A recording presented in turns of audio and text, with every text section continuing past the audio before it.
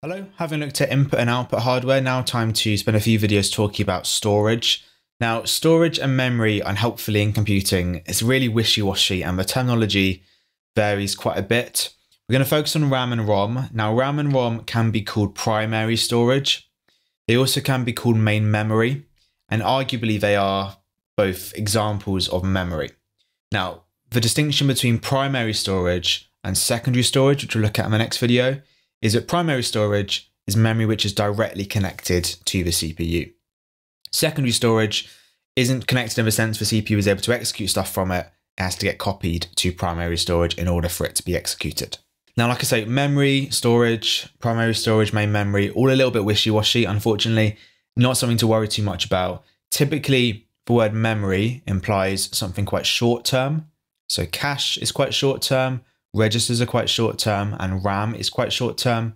Typically, the word storage implies longer term. We're thinking more like hard drives and SSDs, which we'll come on to look at. But if you're wanting a really, really tight distinction between storage and memory, you're not going to get it, unfortunately.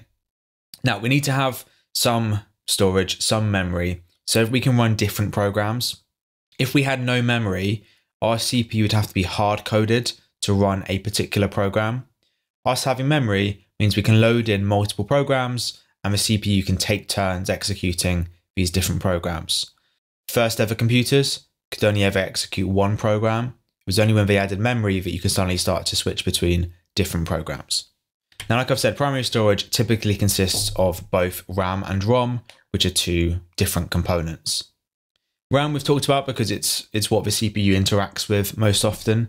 RAM stands for random access memory, in a desktop PC, it looks like this. We've got two sticks of RAM here, which slot into the motherboard. Now, the purpose of RAM is to hold programs and data that are currently in use, or at least are currently open. Now, don't forget that a program is just a set of instructions. So both instructions and data are held in RAM. If it's von Neumann, it's one stick of RAM. If it is Harvard, they are split across two different sticks of RAM. Now these programs and most data will be sat on secondary storage permanently, but when we want to open it, we need to copy it from secondary storage into RAM because the CPU can't access something which is in secondary storage, it has to get copied into RAM to be accessible. Now, a really important property of RAM is that it is volatile. Volatile memory loses data when power is turned off. And this is why if you don't save your work and your computer switches off or you get a power cut, you might lose some of your work. Now, our three fastest memories in a computer are registers, cache, and RAM. All three are volatile. So to make memory really fast, as part of its design, it almost needs to be volatile. So you could argue it's a trade-off between being volatile, which is not necessarily a good thing, versus speed. In terms of the acronym itself, not the most helpful acronym in describing what it is, but random access refers to the fact that I can access items from any point as in a random point on the RAM, and it should take exactly the same amount of time to access it. There is equal speed across all parts of this memory. Now, this fact is important to store away, ironically, because this explains why in paper two, the big O notation for indexing an array is constant time. Now, ROM, on the other hand, is a very, very underrated component. It is just a very nondescript memory chip, usually embedded into our motherboard. Now, ROM stands for read only memory, which does tell us more about ROM because ROM cannot be easily changed by the user. We can read from it, no problem, read only, but writing to it is used to be impossible. Nowadays, it's just quite tricky.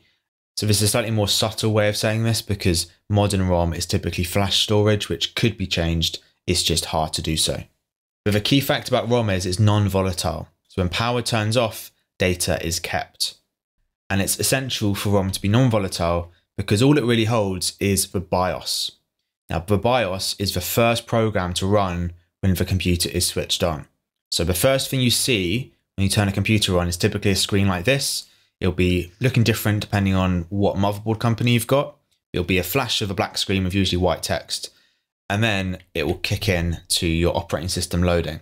And it's that first screen which is the BIOS running. So we'll come back to that in a second. Just a few other things to say is that because the BIOS is needed to start up our computer, this is why ROM needs to be non-volatile. If ROM was volatile, this would be lost when power is turned off.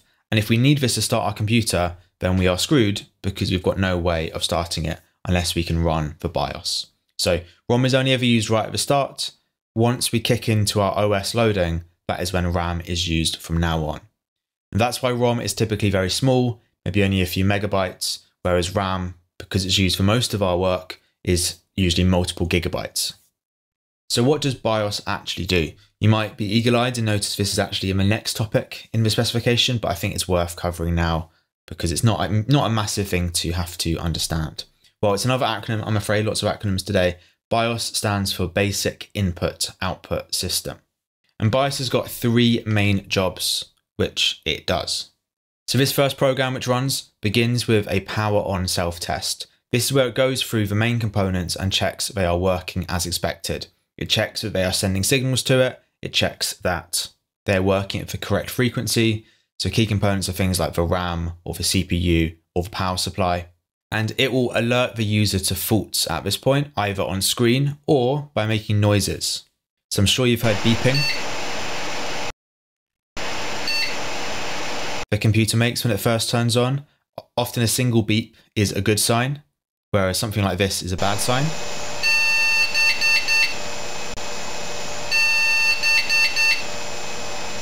And the benefit of it beeping to you is that if your graphics card is not working, for example, you might not see anything on screen. So you hearing those beeps means that you know there is an error. And you can Google what does four beeps in a row mean, and it will tell you, oh, your graphics card is not powered on properly, or you're missing a fan or something like that.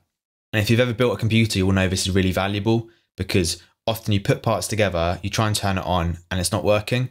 And you've got no information as to why it's not working unless you could hear these beeps and you can see the results from this post operation.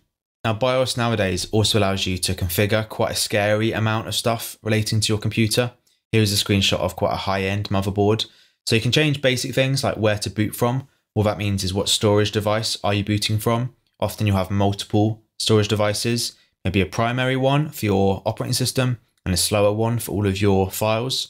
You can choose which one to, to boot from. You can also change things like the clock speed of your CPU via the BIOS. And this is evidence of the ROM not being totally read-only anymore, because if I'm changing my clock speed, the new value is being saved somewhere. It's being saved somewhere in ROM. So therefore ROM can be written to, it's just not easy. But these are kind of two secondary jobs which are just helpful. One which is absolutely essential for BIOS to do, and the whole reason we have ROM in our computer is to boot up our operating system. Booting up refers to just starting up. And in the case of the OS, what this means is the OS is currently sat in secondary storage. The OS can't be in RAM because RAM gets wiped when power is turned off. So the OS is sat in secondary storage. It needs to get loaded into RAM so that we can use it properly. So the BIOS will copy the most essential part of the OS from secondary storage into RAM so that after this point, the BIOS can stop working and the OS will take over. So after this point, the CPU no longer looks in ROM, it looks in RAM, and the OS will take over and continue any further loading which needs to be done. So the second you see the Windows logo or the Apple logo, that is proof that the BIOS is finished and it's now booting through RAM.